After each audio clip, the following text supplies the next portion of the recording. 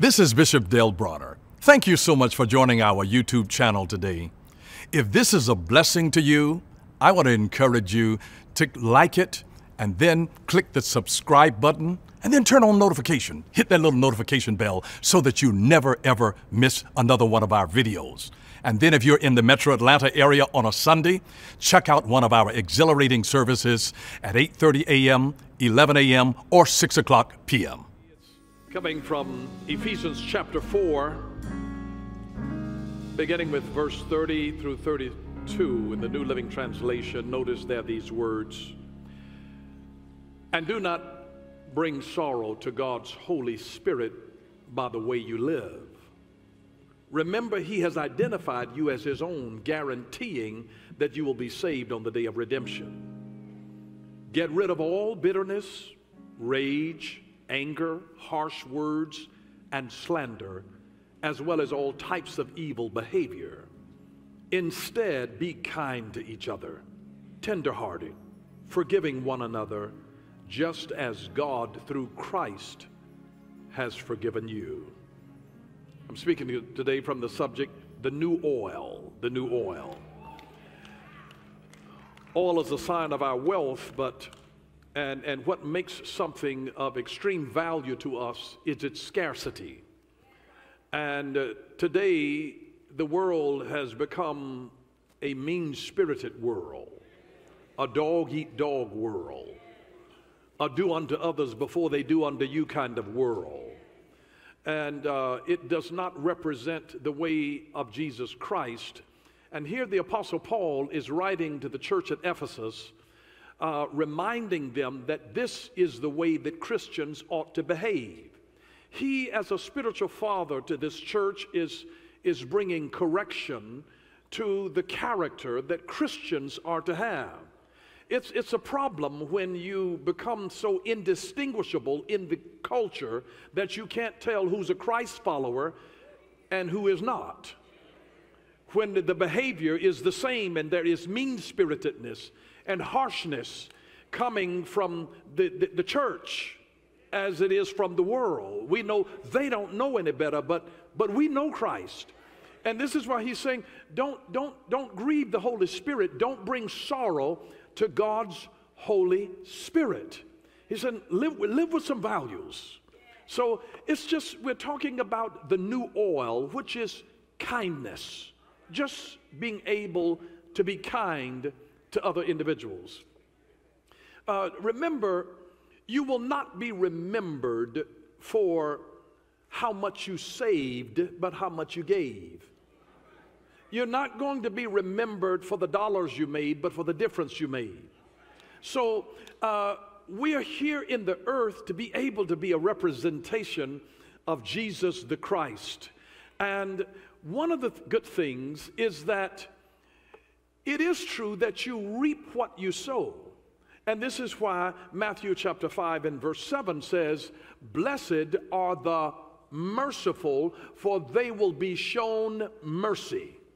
Another word for mercy is kindness because kindness is mercy and mercy is kindness. So you can actually substitute it and said, Blessed are the kind, for they shall be shown kindness. And if you ever need kindness shown to you, be kind to someone else. And sometimes the kindness that is extended to you actually may not come directly back to you, but it'll come to your children, it'll come to your grandchildren.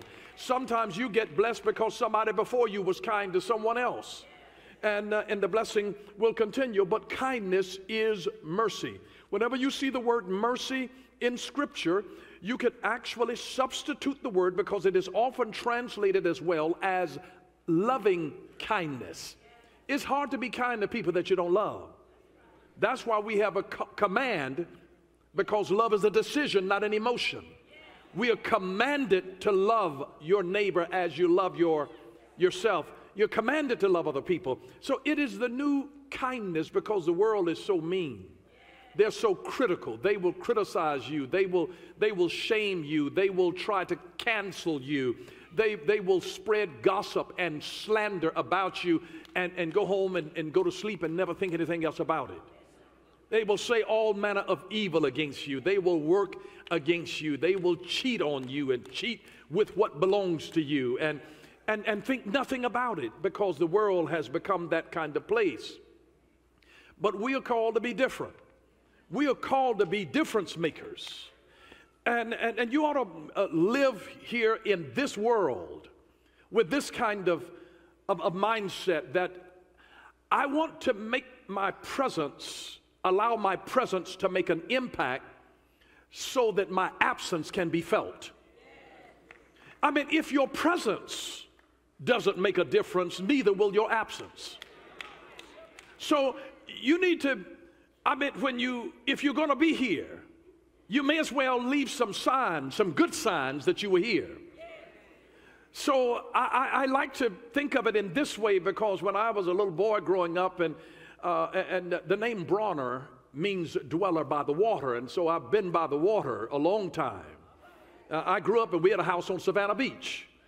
And, uh, and so I spent a, a, good amount of time there and, and the beaches of Florida as, as well. And so I, I, get refreshed, my soul gets restored. He leads me beside the still waters and restores my soul. And, and every time that I was there, I would always find rocks and, and, and, and, and love doing that sort of horizontal kind of skipping of where the, the rock would hit the wall. And see, that was before, you know, we had uh, electronic toys.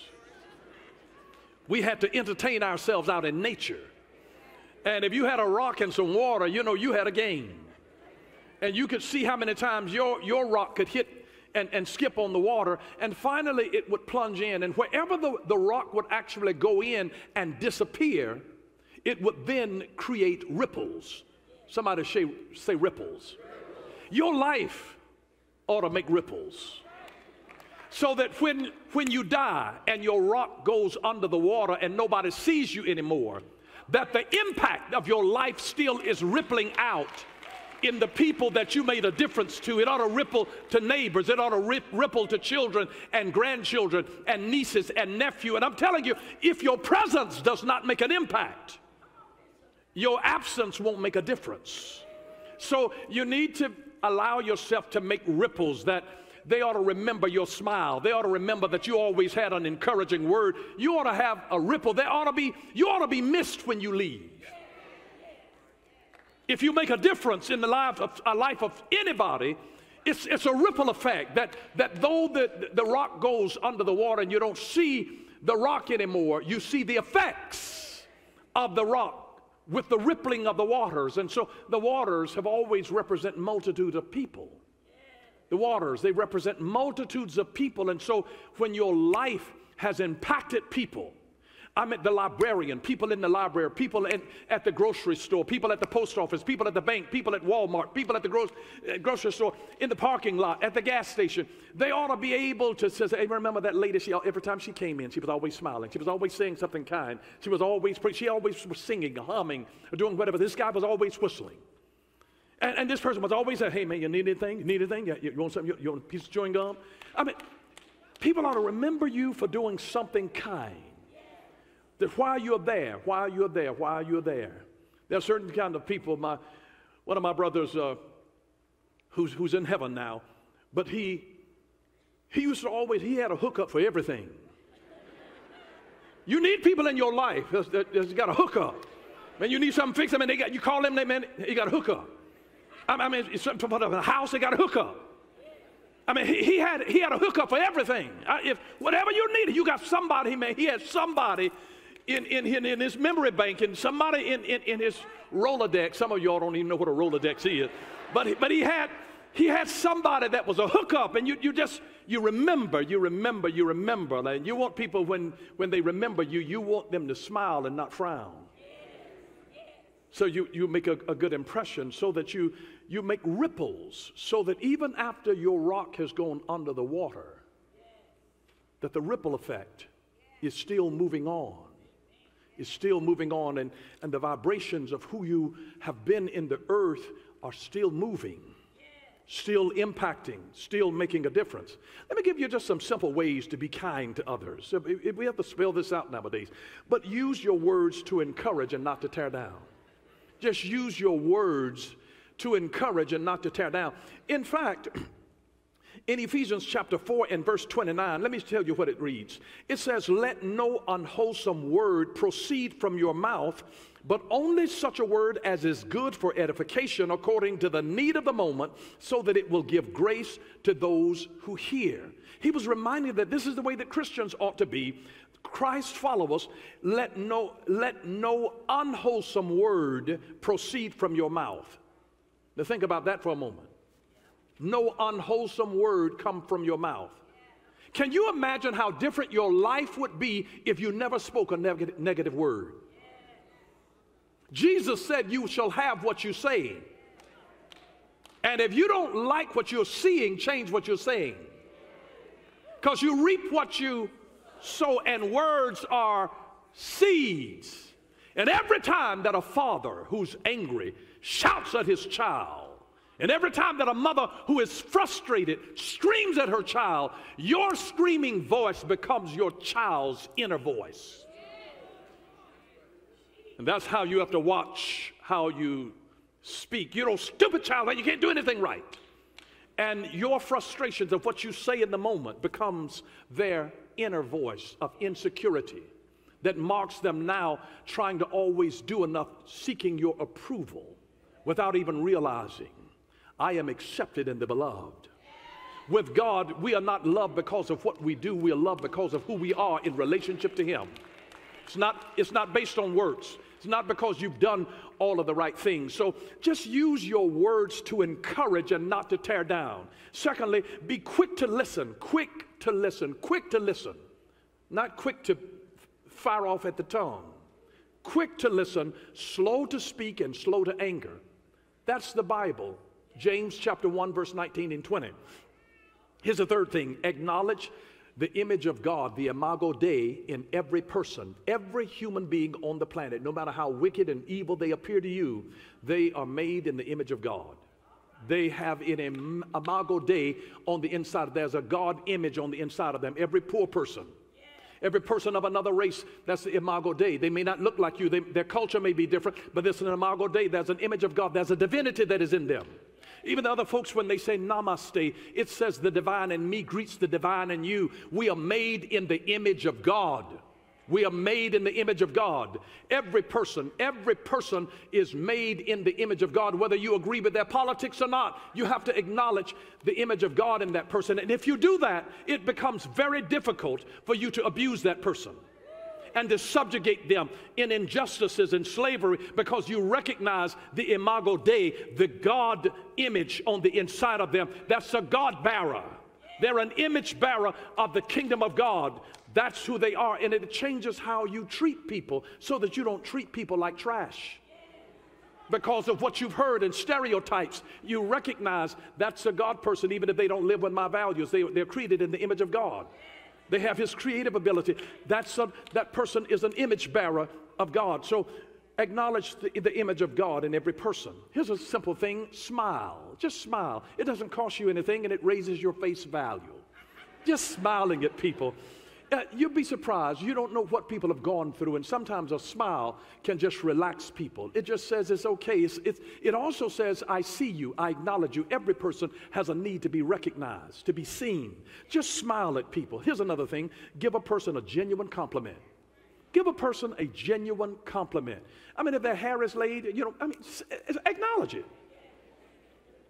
I mean, acknowledge it. I mean, you know, women go through a lot of trouble, you know, I mean, with makeup and eyelashes and nails and shoes and pocketbooks. And listen, it, that didn't just, they didn't just wake up like that. That is, that's some work. I meant from the front to the back, you know, just acknowledge it. Say, girl, you're well put together today. I like how you, yes, yes. Just acknowledge it. Just, just give them a compliment. It, it doesn't take anything from you, and, and it, it, there's something about it that it, it lifts them. It lifts them. It, it, it can shift a mood. When you come in with a compliment, a genuine compliment, I don't mean hyping somebody up because you want something from them. I mean just genuinely looking and said, you know what, that man, that, that's, that's just really good. You know, if, if somebody's braids are fresh and tight and their beard is on point, you know, just if that outfit is well put together, you dripping, you dripping, you know, I see you.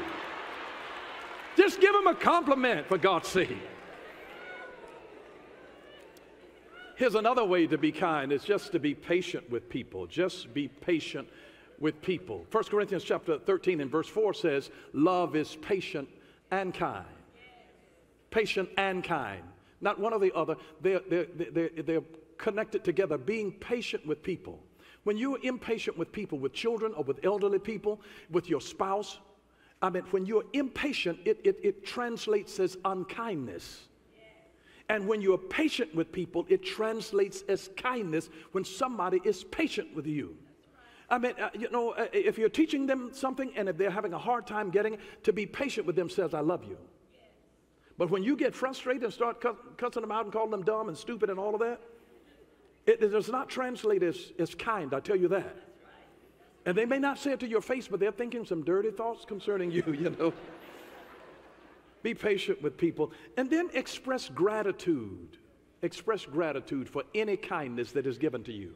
When people are kind to you, when they have served you well, express kindness to them. I mean, I don't care if it's, if it's on an airplane, a train, a bus, if it's in a restaurant, if it's a cashier in a store, just express kindness. If it's a barber, a beautician, express gratitude for any kindness that's been given to you.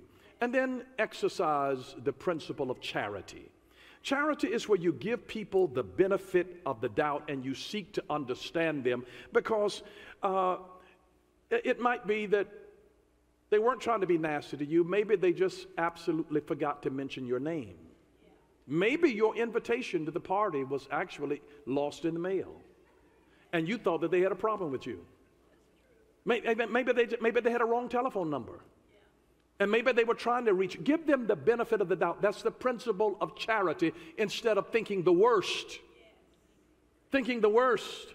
I mean, don't, don't assume that because somebody is looking at whoever you're with that they're trying to hook up with whoever. Maybe you look like somebody that is a relative of theirs or somebody, you know, it's like you put me in the mind of somebody. Be charitable to people. Don't, don't assume the worst and then respond emotionally to that, to that assumption. Take a look at this little picture here on, on, on kindness. You see, this is why you should be kind to people. Notice the big blue circle, that's someone's life. And now notice the little dot, that's what you know about it. I mean, it, a, a person is a big entity. And what you know about it is like that little tiny dot. You don't know the struggles that they've dealt with. They might have had an alcoholic parent, a parent that was on drugs, somebody that was incarcerated, somebody that abused them, abandoned them. They might have been raped. They might have a certain level of, of, of mental illness. They could be reacting to medication. You don't know that's it's a big life, and you see one element and you make a, a quick rash judgment based on that little dot of information, a stupid post that they made, and now you've made that the totality of their life. Be charitable, be kind, because somebody is dealing with a hard struggle, and you never know when your kindness is just the thing that they need in order to, to keep their sanity. The last thing that they need is when their, their world is, is, is being wrecked and, and, you're, you're, you're, there at a stoplight and, and the light changes and, and you're laying on the horn and, and, and cussing them out and got your middle finger up.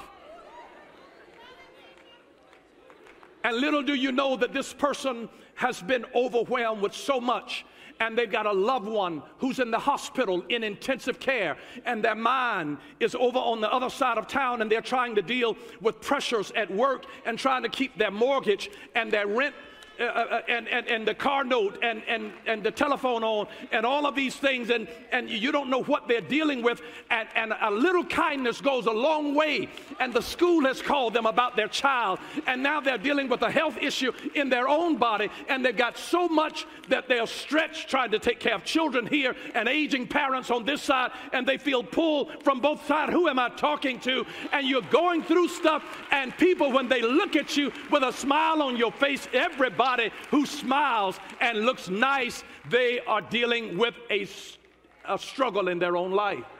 And did you know that the way that life is, even if you're good looking, you know, good looking people still have problems? You can be cute as a button.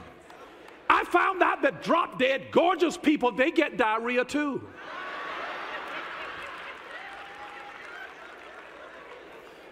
You don't know what a person has gone through and what they are dealing with. They might not have slept well last night at all, and they, it took everything on the inside of them to muster enough energy to put their clothes on and to wash their face and to press beyond depression and suicidal thoughts and to face another day coming out in the cold, in the rain, and trying to live their life and keep it going. And you're seeing a little dot of just one little thing that somebody walked in a room and didn't speak to you. Maybe they didn't see you.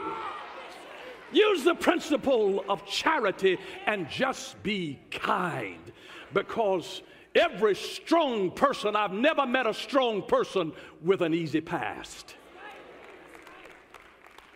You see strong people and assume that they're just strong all the time because they got to be strength for everybody else. But the strong person needs somebody to lean on every now and then. Even the strong person needs somebody to say, I, I see you. I know you're helping everybody else. Are you doing okay? Are you all right? You, you're there for everybody else. How you doing? Ask somebody right now, how you doing? How you, how you doing? You'd be surprised. Now, I know you can't always be, an, uh, be honest with that because you can't, everybody can't handle all of that other part of your life. They just see the little dot that you allow them to have a little bird's eye view into, but it's you're a whole complex entity. And they may not be able to, to deal with all of your history. And they certainly don't understand your destiny. And that's why you have to be able to deal with people who know you and understand your struggles and they look at you and they make assumptions about you that just because you're big bone that you're lazy. You, you, may be, you may be putting out more energy and, and working harder than the skinny person. Again they're looking at a dot but you're a big circle. There's a whole lot more that's going on. Do you anybody understand what i'm saying today but we have to grow in our understanding to be able to connect with people and to be merciful and kind to them. We have to grow. Jesus had to grow. He wasn't just born fully matured as God. I want you to notice Luke chapter 2 and verse 52. Notice this. And Jesus increased in wisdom and stature and in favor with God and men. Notice that he increased in wisdom, that is something for his mind, and in stature, that's his body. Jesus developed both his mind and his body, not one or the other, both and. He developed his, his, his mind in wisdom, he developed his body in stature. He grew in both ways, and he also grew in favor with God and with human beings. And this is a balanced Jesus who was kind to people. And when you're kind to people, it doesn't mean that you don't ever get angry. You do get angry. The Bible says, be angry, but sin not. So you will get angry. And that's why Jesus should be our goal, is to be able to grow in mind and in body. We should seek to become more. You know why? So that we can do more. The only reason that you need to have more is so that you can do more because to whom much is given, much is also required. So the more you have, the more you can do. If you're asking God for more just for the sake of having more, that's not a prayer that God is interested in answering. But if you're asking God, increase me, grow me, God, so that I can do more, so that I can help more people, so that I can share and that my reach will go farther than what it is, help me, God. I want to grow in wisdom and in stature so that I can do more. If I strengthen my back, you can trust me with more weight. God, help me to become more. Grow me up, God, so that I can handle this because when I'm a child, I got to deal with one thing at a time. But as I grow up, now I can handle several things at a time. When I first started out in ministry, I mean, if I had to speak, you know, I mean, it's going to take me a whole time and I can't do anything else. And now I have to work on, on several things. I've got several things cooking in me now about upcoming events that I'm already working on. I was working not yesterday on today, I was working uh, uh, yesterday on some things that's coming in the weeks. I have to have a whole lot of things on the back burner that's already getting ready. Some of them are just simmering there that I'm leaving there, but I've grown to be able to have different things on the oven, on the stove now at the same time. I ask God to, to, to, to grow me, not just so that I can be bigger and bigger, but so that I can help more so that I can understand the hurts and the pains of other people, so I'll know how to speak to it and be able to shift their perspective into a kingdom perspective. But I will say this to you that not all kindness looks and feels like kindness at the time. Not all kind, kindness looks and feels like kindness at the time. And I would say this to you that one of the kindest things that God will do for you is to allow you to fail when you're on the wrong path for your life. That's one of the kindest things that God can do is to allow you to fail when you're on the wrong path for your life. Let me say it to you this way God will sometimes destroy what is set out to destroy you. God will ruin what was trying to ruin you. And that's a gift, and it is God's kindness. You know how you were in school in the earlier years and you were all in love with somebody, you thought he was so cute and she was so pretty or whatever, and then you see them some years down the road broke, busted, and disgusted, and teeth missing, and then I got all big and just let themselves go, and they used to be so cute. And now just like, Lord, thank you, thank you. You better be glad that God let some things fall apart. I'm just telling it didn't look like kindness then. I mean, you know, people that, you know, you didn't have the nerve to go to speak to them, to ask them to tell them that you want to go together. I mean, when I was in school, you know, we had a little piece of paper that we would you know, will you go with me? You know, you know, and they checked the little box and stuff, you know. But those of us who were just terribly shy, we, would, we wouldn't even say anything. And then finally we'd see them with somebody and be like, doggone it. But then down the road, you're thankful that God allowed a plan to fail that you were hoping was going to happen because God knew some things about it that you didn't know and that you didn't understand at the time. Let me say this to you God designed success so that it does not satisfy you. I'm going to give you that a, a, a divine Selah, to where you just pause and just meditate on that for a moment. God did not design success to satisfy. And why not?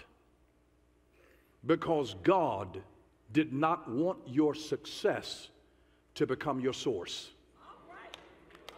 God is your source. God is your source.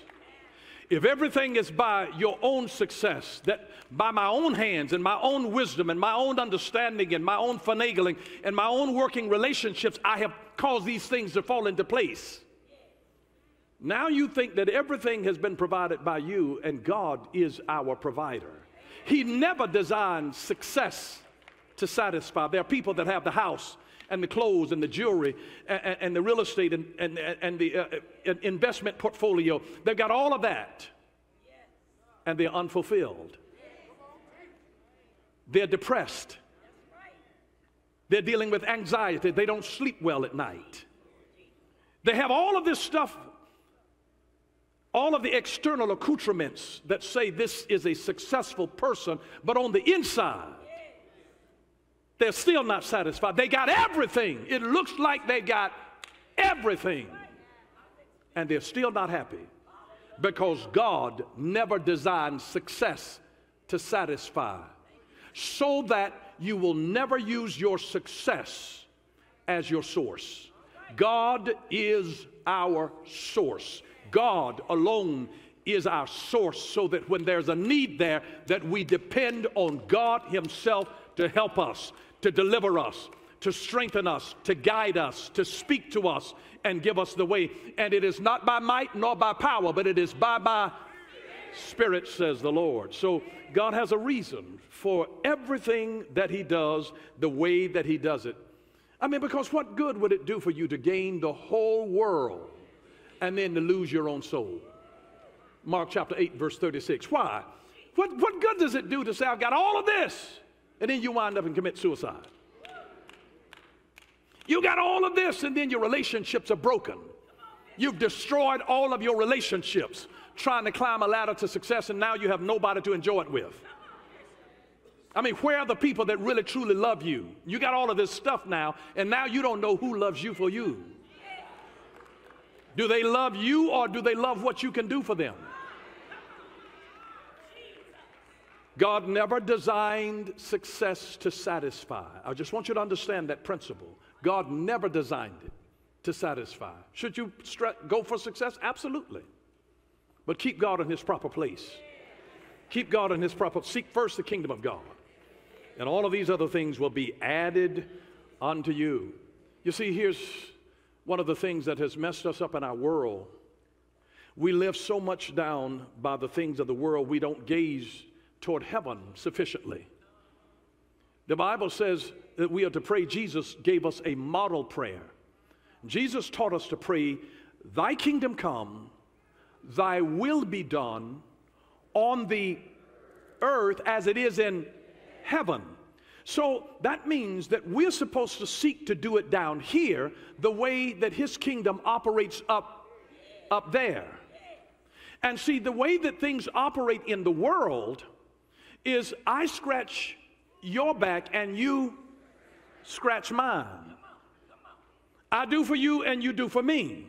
That's a general understanding, and we have brought that same kind of mindset into the church world with God, and God doesn't operate that way. God's like, I'm God. I'm not in a negotiating table with you. I am God. I'm the Lord of the universe. I'm the creator of all of these things. I was here before you. I gave you everything that you got. You can't negotiate with me. What do you have that I need? God is like, I don't need my back scratched.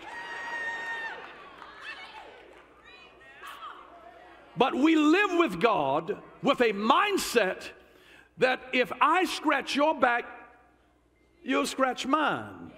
And so we get upset with God. And I know people and have met people who are offended with God because they're like, God, I was going to church. I was trying to live right. I was paying my tithes. I was reading my Bible. I was trying to pray. I was doing everything that I knew to do. And God, and you still, you still let my marriage fall apart.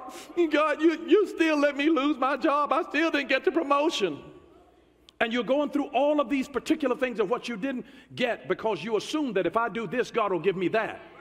This is not a bargaining game. This is God. God said it all belongs to me anyway. How you going to cut a deal with me and I own all of it? It's not a I scratch your back and you scratch mine. That's that's a worldly mindset. That's carnal thinking.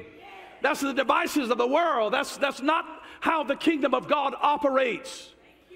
And it's because God has a, a bigger panoramic view of the whole situation. God sees the big picture. God sees the big picture. God sees the big picture. So even when it looks like something negative happens or something evil happens, God says, I will take that and work that thing for your good. Romans 8 28. And we know, not we think, not we hope, and we know that all things work together for the good of them that love God and who are the called according to his purpose all the all things, the good things and the bad things, the positives and the negatives, the ups and the downs, in sickness and in health, in riches and in poverty, all things. I'll take it all and work it together for your good. I will work all of it for your good. I'll take the baby mama drama, the baby daddy drama, I'll work it for your good. I'll work the unfairness that happened on your last job. I will work that. Listen, I'm God. Just watch me in the big picture of it all. Watch me. Watch me in the picture of it all. God says, I'm working on something. I know you think that, Lord, I've been faithful to you. Why didn't you let my mama die? God says, I'm working all things for your good. I'm working all things. The Bible says that Job was a righteous man who walked upright and eschewed evil, and he was perfect. He called him a perfect man, and yet he lost everything that he had. And that wasn't the end of the story. God just said, Listen, if you walk with me, if you walk with me and work with me, and if you'll wait on me, and if you'll trust my heart, when you cannot trace my hand, if you'll walk with me and wait on me, if you'll walk with me and wait on me, God says, I'm working on something. I see the big picture. I see the big picture, and I'll show you what I'm working on. I'll do it, Job, if you'll be patient. And the Bible says that the latter end of him, God gave him twice as much. I declare if you wait on him, if you wait on him, if you wait on him. You remember young Joseph? Young Joseph in the Bible was faithful to God. He had integrity in his heart. And remember Potiphar's wife? She said, My husband is on a business trip. Come here, baby. You look good. I need you to scratch an itch in my bedroom. Come on, come on in here. And he says, Excuse me, lady. But I work for your husband. I respect your husband. But above that, I respect God. And he stood for righteousness and for truth. And not only did he lose his job, he was locked up in jail, falsely accused. God, what in the world are you doing? I do right. I do right. I mean, it, it was like me. I, I got, my wife was driving the car one day. We get pulled over. The police officer comes to my side of the door and asks me if I had on my seatbelt. I'm like, you see it on there, don't you? And he said, Sir, did you have on your seatbelt? And I said, No, I didn't have it on. And I got a ticket for telling the truth. I mean, I tell the truth and I get punished with a ticket for telling the truth. Lord, I told the truth. I, am doing what's right, God. You're supposed to have my back. I did what you wanted me to do. Now, Lord, you, you're supposed to handle this. And a ticket was put on my record.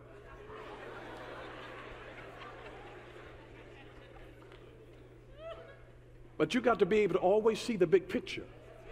God saw a big picture with Joseph when his employer lied on him and locked him up in jail and promoted him out of the jail and put him in second in command. See, God had something. He said, I work all things, all things according to your good. It took a long time, and, and when you, you thought that it should have happened by this particular time, and it hasn't happened within a certain time. All I can tell you is this in the Holy Ghost, I heard God speak this to me today. Swift transition. I heard him say swift transition. Swift transition. It's not what it looks like. You've been waiting a long time, but God says, I'm going to switch it up, turn it. I'm going to turn it on a dime. I'm going to turn it real fast. You getting ready to have swift transition. Get ready. Get ready. I'm just telling you, You've been waiting on a decision to come. You've been waiting on the breakthrough. God says that you're getting ready to experience swift transition. It's been more than weeks and months, it's been years for some of you waiting on this thing to happen. Swift transition, swift transition, swift transition, swift, swift transition. God says, I'm going to turn this thing, I'm going to turn your situation. You've been locked up for some years, but I'm getting ready to open the door. They're going to send for you. You got stuff that's been out there, and they're going to send for you. You got the portfolio ready, you got the stuff ready. You just sitting by the phone waiting on the call. And God said, swift transition, swift transition, swift transition. You getting ready to go through transition. Transition is different than change. Change is an event that happens. But transition is the emotional, psychological, financial, and relational processing of change you are getting ready to experience by the Holy Ghost swift transition. Get your business ready. Get your business ready. Get your production ready. Get your team ready. Get, get, get, get, get, get, get, get, get, get, get, get, get ready because swift, swift, swift, swift transition. God's going to give it to somebody who's ready to receive it. Swift transition, swift transition. God knows what He's doing. This is not a back scratching situation because God's back is not itching and you're assuming that He needs the same thing that you need. All that I can tell you is that God is getting ready for some of you in some strategic, swift transition. Swift transition. It's going to be where you just wake up and you say, Lord, you did this so fast. I mean, what happened? You're going to know surely this is the Lord's doing. This is the Lord's doing. You've been waiting on this thing to turn around. Swift, swift transition. Swift transition. Swift transition. Swift transition. It's not going to be huffing and puffing and blowing. Swift transition. Swift, swift. It's going to be a quick release. You're going to wonder what in the world happened. What in the world happened here? Trust God and give Him time. And you watch that when God stands up to move, the swiftness of His transition. The swiftness of His transition. Just remember, God does not wear a watch. And even if you think that you're getting too old, He will give you length of days and long life. He'll turn back the hands of the clock and renew your youth like the eagle. They that wait on the Lord, they that wait on the Lord shall renew, shall renew, shall renew their strength. You're not going to look like what you've been through. Yeah, yeah, yeah, yes, yes, yes.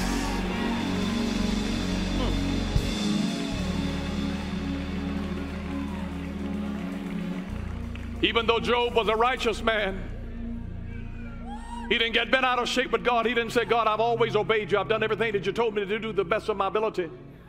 I've always walked in obedience to you. He simply said, Though you slay me, God, yet will I trust you. Even when bad stuff is happening that I didn't deserve, Lord, I trust you. I don't understand it, but I trust you. I don't understand it, Jesus, but I trust you. I trust your heart toward me, God. I don't understand why I've been having a hard time. I don't understand why I lost close relationship, my support team, and certain things in my life fell apart. I don't understand it. But Lord, I trust you. I trust you. I trust you, Jesus. I trust you. And if you trust him, if you will trust him, I'm telling you, God will help you. If you'll just trust him. If you'll trust him. He says, though you though you slay me, yet will I yet will I trust you. He didn't get angry with God. He's, he was a wealthy man and lost everything he had. You know what his attitude was? He says, Naked came I into the world, and I'm going to be naked when I leave out of here. But he said, Blessed be the name of the Lord, anyhow. But before it was over, God gave him 10 more children. And he increased his wealth to be twice what he had before. And he was already a wealthy man before he lost it all and God restored him, restored him. I'm telling you, you're going to watch the hand of the Lord with swift transition. God's going to take you through a process and swift, swift, swift transitions getting ready to come your way. Swift transition, swift transition, swift transition. You watch and see what God will do in this next season, the hand of the Lord is on you. Swift transition. Some of you have been waiting for your time. Swift transition. It is though you've been dark. All of a sudden, Moses was on the backside of the mountain for 40 years. 40 years. And God didn't speak one word to him. And all of a sudden, a swift transition came. And God appeared to him in a burning bush. God's going to set your bush on fire and turn you aside to see a sight. And you're going to realize this is the Lord's doing. This is the Lord's doing. He will visit his people. And he's coming in fire. He's coming in fire. He's coming in fire. Because a flood has put too many people's fire out when the enemy shall come in like a flood, God's coming in like a fire. You watch, watch heaven. You watch heaven. You watch heaven. God is up to something. And He's doing something so incredibly divine. Take your seat for just a moment. We're going to go a little deeper. It is interesting that whenever your life is off course, God has a way of shifting you to get you back on course. It was July the 20th of 1969. I was a young boy watching the television. This day when man first walked on the moon. It wasn't the first time that a spacecraft had been sent to the moon. The Russians had done it in, in 1959, 10 years earlier. But nobody got out. But 10 years later, July the 20th, 1969, Neil Armstrong, two other astronauts on board the spacecraft that blasted out of the Earth's orbit.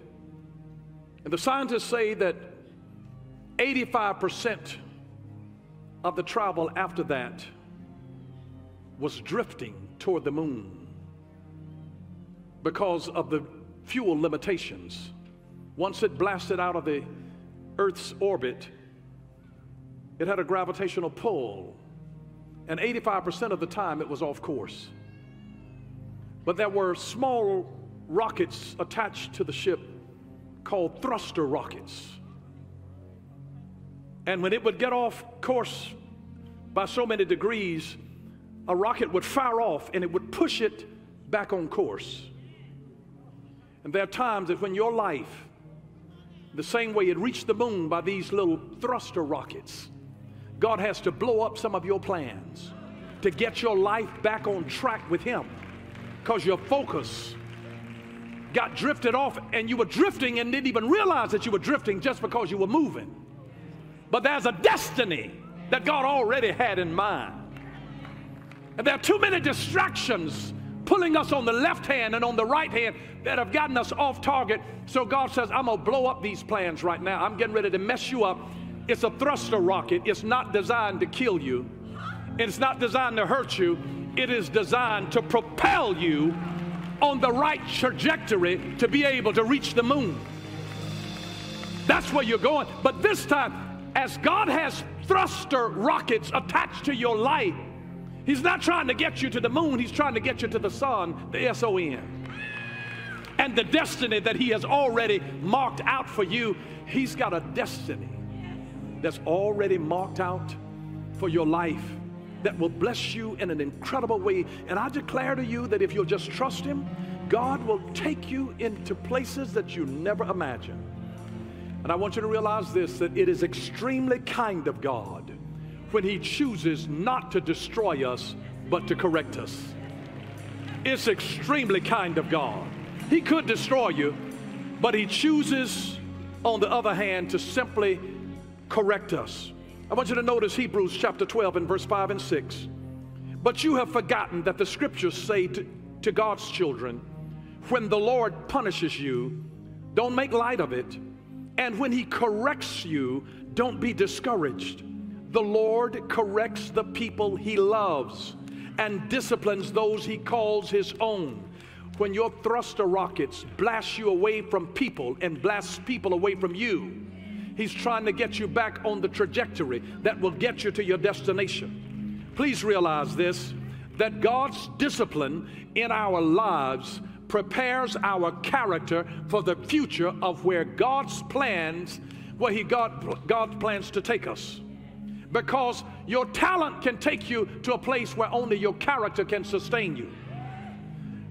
And so God disciplines us in our lives in such a way that our character can sustain us in the place that He plans to take us. And my question to you today is what is the Lord trying to correct in you? What is He trying to discipline in you? And I want you to know He's not mad at you. God loves you. God loves you.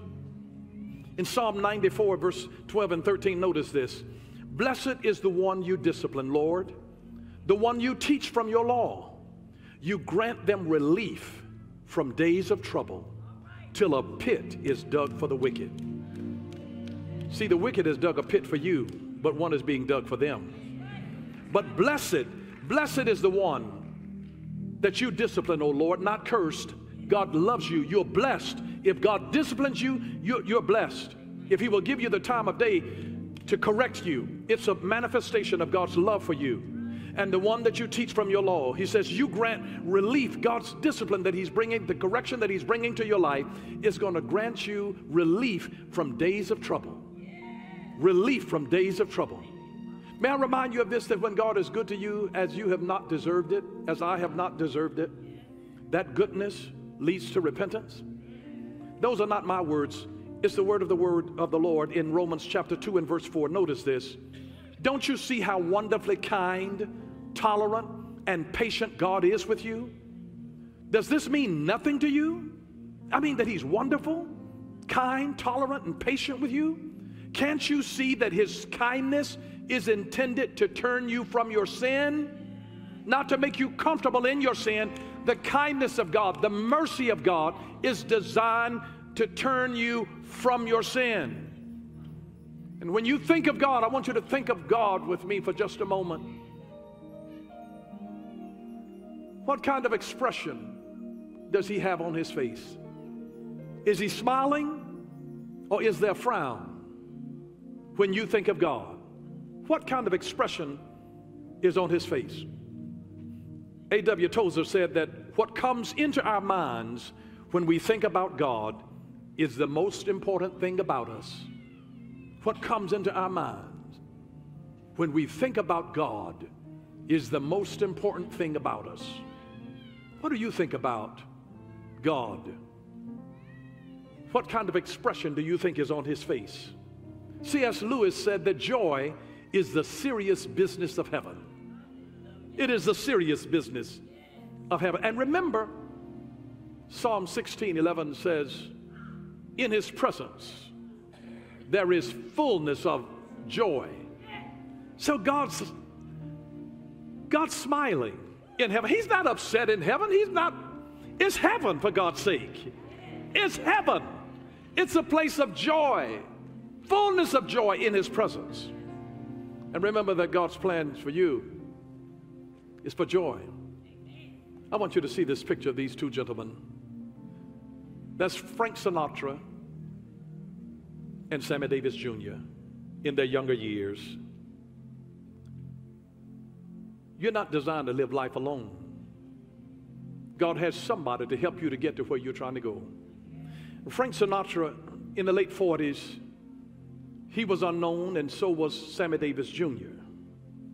But Frank Sinatra was playing in a, in a theater there in New York City.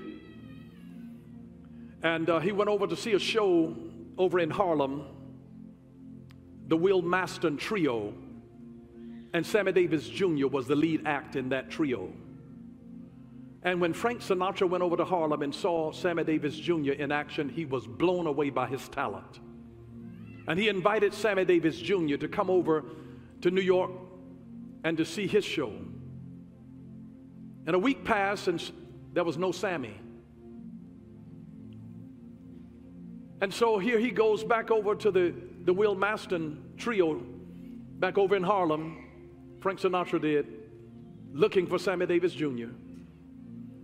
And he waits until after the show and he says, Sammy, what happened to you? I, I was waiting on you to come to see my show. He said, I came. He said, they wouldn't let me in. Frank Sinatra was so upset that he stormed across town and went back to New York City to that theater in front of the owners and tore the contract up in their face. And he was a friend to Sammy Davis Jr. And Sammy Davis Jr then went out to the Copacabana. They wouldn't let him come in. So Frank Sinatra refused to play there as well. And there he was in Vegas, and they wouldn't even give him a hotel room. They wouldn't rent a hotel room to him. And Frank Sinatra was with him, and he said, Give him my room. And then shortly after that, Sammy Davis Jr. had a terrible car accident where he lost his eye. And Frank Sinatra paid all of his medical bills.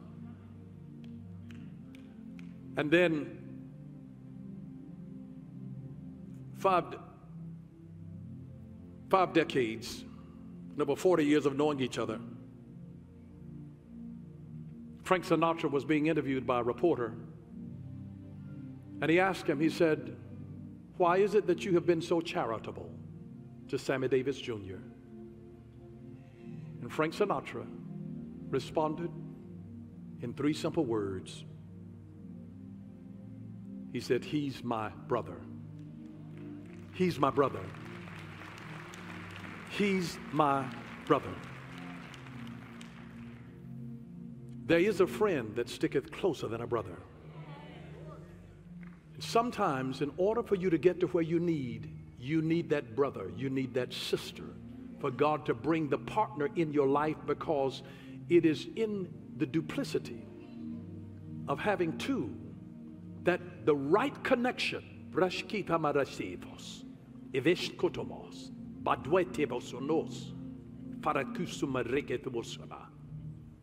just the two. In the strength of two is the power to multiply. Not that you choose, but that the Spirit chooses for you that has the complementary gifts and strategic positions of influence to bring you where you need to be. When you submit to God, God will supply to you the connection that is necessary for the place where He's called you in His destiny. May I remind you of this that every act of kindness is a seed. Every act of kindness is a seed. And the truth of the matter is is that God sends rain where there is seed in the ground. It doesn't rain in the desert because nobody plants seed in the desert. But God sends rain. He'll rain on your field when you've got seed in the ground every act of kindness, be it a word or a deed, in every act of kindness, there is a seed. There is a seed. There is a seed in every deed. There is a seed. And your harvest of blessings will come out of that seed that God sends water for in your life. And Robert Louis Stevenson said this don't judge each day by the harvest you reap, but by the seeds that you plant. Don't judge each day by the harvest that you reap. There's so many people that's always looking for the harvest. You're looking in the wrong place. You be faithful to sow. Now listen, God's promise is not for reapers. God's promise is that He will give seed, ideas, time, money, children, connections. He will give seed to the sower. The success of your day is not measured by the harvest that you bring in that day. The success of your day is based on the seeds that you have taken the time to plant.